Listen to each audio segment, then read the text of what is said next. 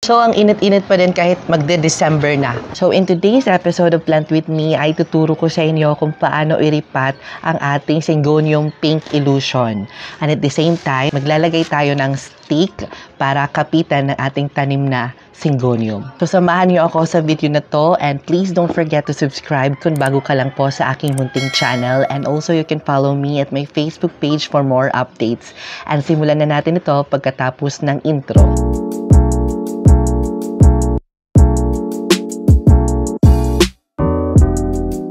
Hello everyone, ako si Mark. Gumagawa po ako ng plant tips and featuring indoor and outdoor plants.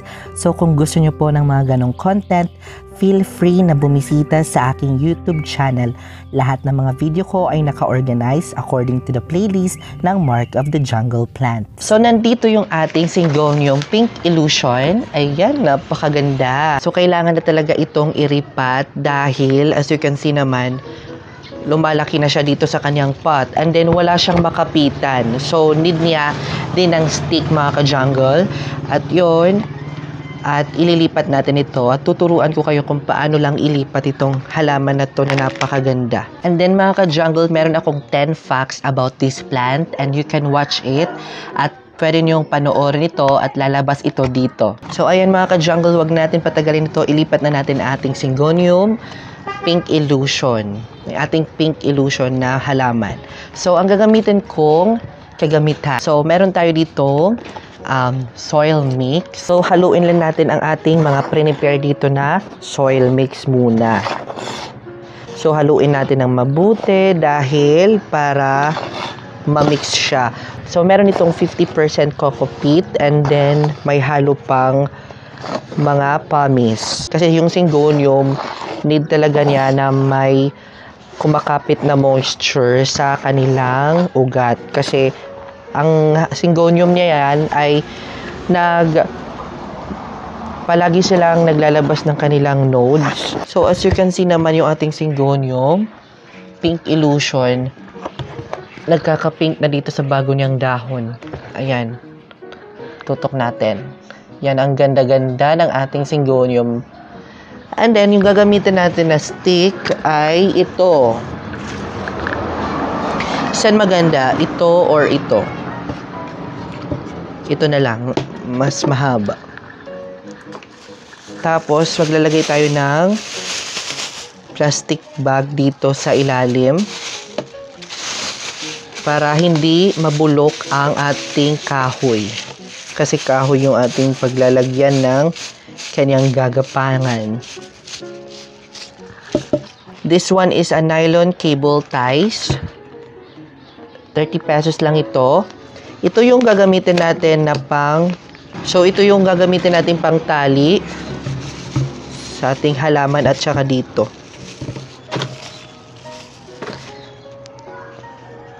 Kailangan talaga ito maano, mat malagyan ng cellophane. Kailangan natin ng gunting. So, mag-eyeglass lang ako. Kumuha ko ng gunting. So, So, first step natin, prepare natin ng soil mix. Second step ay prepare natin yung ating stick. So, kung kapag kahoy yung gagamitan nyo, pangkapit, kailangan nyo ng plastic bag pa sa ilalim. Maglagay kayo ng plastic bag i ano nyo para hindi mabasa yung kahoy. Para hindi masira at mabulok. So, kasi yung, yung una nagtanim ako, naglagay ako ng kahoy na bulok. So, wala, masisira pa rin yung halaman. So, ito yung ating gagamitin na pot. This one is 12 by 8 yung size. So, tatanggalin natin yung old, ano na, old pot.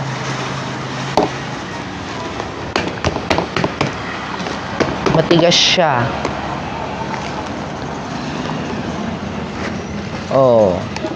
So, as you can see mga ka-jungle, healthy naman ang kanyang roots, pero I don't like the soil mix na ginamit niya. I really don't like kasi para siyang clay. Yan. Yan o. Oh. Para siyang clay.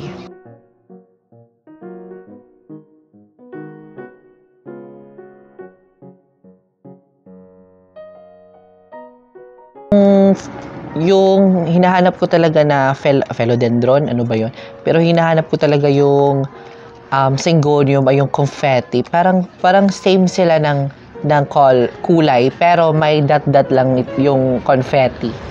Pero mahal daw yun mga ka-jungle. So, naghahanap tayo ng mas mura. Mamaya nga, may dadating na order from Tanawan Leyte. Kailangan bawasan yung roots.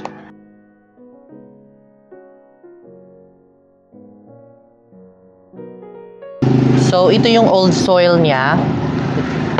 And then, as you can see mga ka-jungle, binawasan na natin ng roots ang ating syngonium, pink illusion, and then, hindi ko na lang babawasan yung node. Ito yung node niya. Ito, dito. So, kapag mag-propagate kayo, pwede na ito ma-propagate actually. Like, isa, dalawa. Pero ayokong i-propagate. Gusto ko ganito lang. Ayoko dumami ng dumami yung halaman ko kasi maliit lang yung space natin dito. So, ilalagay na natin ito dito sa ating pot. And then, naglalagay tayo ng soil muna.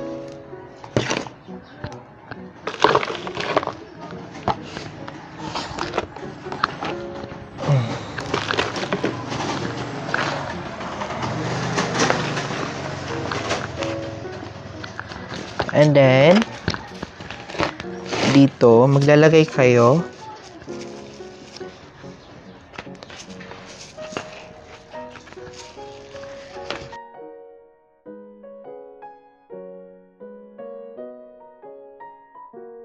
So, kapag half na siya yung soil, pwede nyo nang ilagay yung halaman.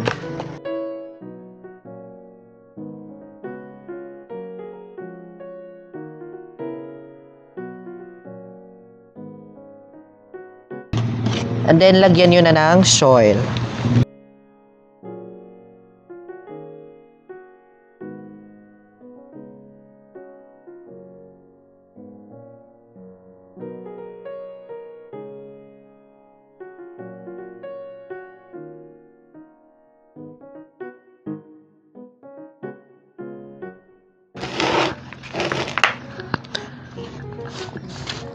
Gusto ko kasi may stick siya.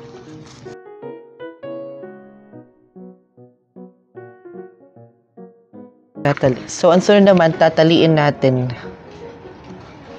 ito para kumapit.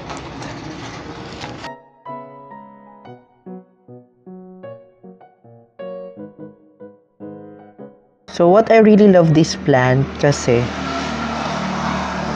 ito ay easy plant lang. Easy for beginners.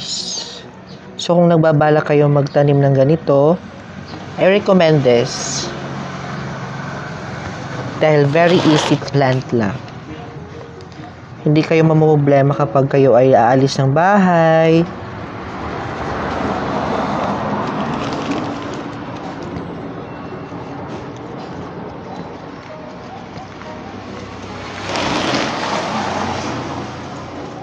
So, dahan-dahan kasi baka mabali yung kanyang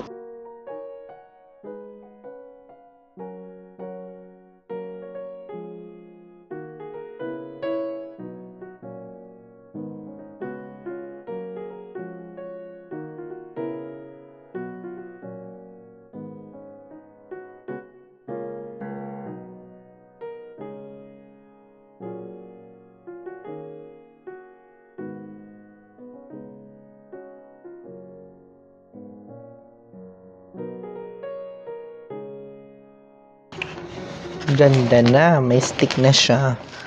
Hindi na siya gaganon. Kasi, may support.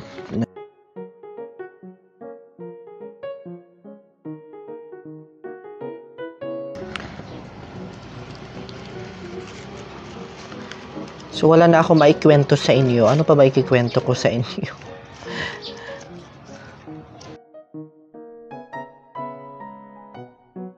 So, ayan.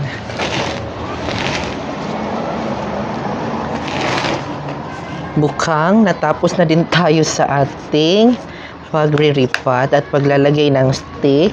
So, natapos na din tayo sa ating pag-repot na ating pinks um, pink syngonium illusion na plant. And then I'm so very happy kasi successful natin na ilagay dito sa stick na to. Yung akin lang, dapat yung pagdidilig ay dito lang na banda para hindi malusaw yung para hindi masira yung stick. Kasi kapag mabulok yung stick, kada didilig, 'di ba, kapag naulan na, kapag nababasa yung kahoy na ano ba yun, nabubulok. So, nasisira yung stick, masisira din yung halaman. Kasi nagkaganon din yung akin. So, need talaga maglagay ng uh, cellophane or anything na para hindi mabasa yung stick. So, yan. Pwede na siyang i-display sa loob ng bahay at lagyan ng magandang pot na white. And then, tapos na. Pwede na tong ibenta. Char pa mine. So, ipapakita ko sa inyo ng malapitan ng ating Syngonium Pink Illusion para makita nyo talaga ang ating magandang halaman na to. So, ito na yung ating Pink Illusion na naripat. And as you can see, ang ganda-ganda, oh. Ayan. Pinakapitan ko talaga ng ating nylon cable wire para maganda yung kapit niya. And maganda talaga siya. And then yan, oh. Ang ganda ng Syngonium natin. So, yan. Pink na pink. Ito, oh, pink na pink talaga ang kulay. So, yan. Actually, hindi naman ito mahal sa market eh. Nagkakahalaga lang ng 300 pesos. May tag 200.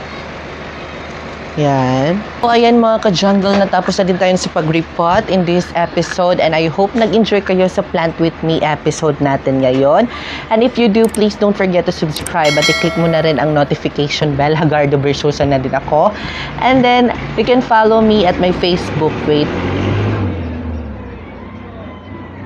And also, you can follow me at my Facebook page for more updates. So, I will see you next episode mga ka-jungle. And I hope nag-enjoy kayo. And I will see you next episode because more plants, less stress.